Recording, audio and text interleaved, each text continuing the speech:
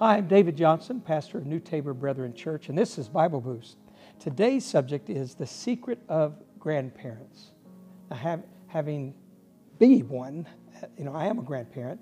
I, I've noticed some things that in my behavior, my wife's behavior, of how we react around grandchildren. So, why do our grandchildren love to see Granny and Poppy? You know, we've got gray hair. Our figures have, have declined over the years. We've got wrinkles now. Uh, our, our clothes are frumpy and funny, you know, to them. We, we're not in high fashion with all the young people. Uh, we can't move fast. Why? What's so attractive to two old people? Well, let's look at this. Number one, we dote over and love our grandchildren. That's one of our secrets. Grandparents just make over their grandchildren. You always hear people, you, know, don't ever ask a grandparent for pictures of their grandchildren. You'll be there all day. Another one is we show interest in their lives.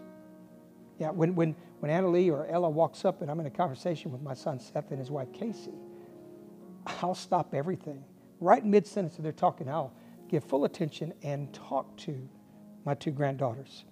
We give them unconditional love. That's another key area. We give them unconditional love. It's one of our secrets.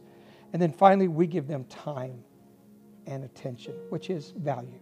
You know, C number two. We show interest in their lives, which is also value. And on top of that, we, we bring some candy, toys, and, and other fun stuff too, you know, grandparents. Romans chapter 12 and verse 10 says, Be devoted to one another in love. Honor one another above yourselves. Sort of sounds like grand, grandparents, doesn't it? The way we behave around our grandchildren. Because when we're grandparents, we often behave biblically around our grandchildren. Now, can you imagine your relationships if that same behavior followed all of your relationships? How popular you would be? People would light up when you walked in the room, wouldn't they? If you behaved that way. And here's some of the traits of, of a grandparent kindness. We're kind, we're patient. Yeah, it doesn't matter if they stumble over the words, we think that's cute.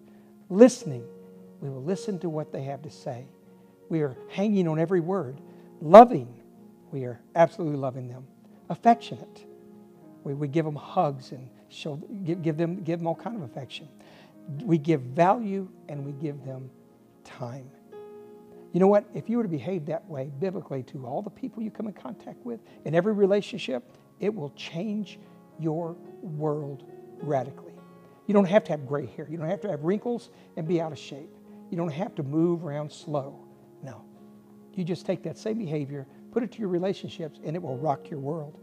You could be that out of shape person. You could be out of fashion, and people will still love your company and they will still appreciate and want to be around you more. Fact is, God loves you more than grandparents love their grandchildren. He's already behaving that way toward us. 1 John chapter 3 and verse 1 tells us, See what great love the Father has lavished on us. Sounds like a grandparent, doesn't it? That we should be called children of God. And that is what we are. Hey, friend, I want to encourage you today give it a try in your other relationships. The secret's out. God bless you. We'll see you next time on Bible Boost.